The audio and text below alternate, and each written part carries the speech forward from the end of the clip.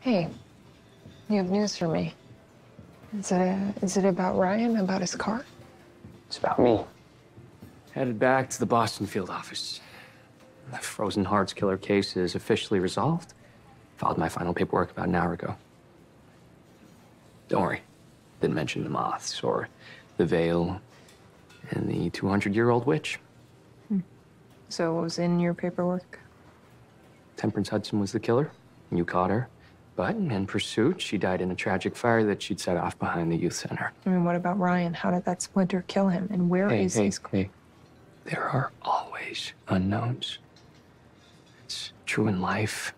None of it's neat. No. Boston isn't that far away.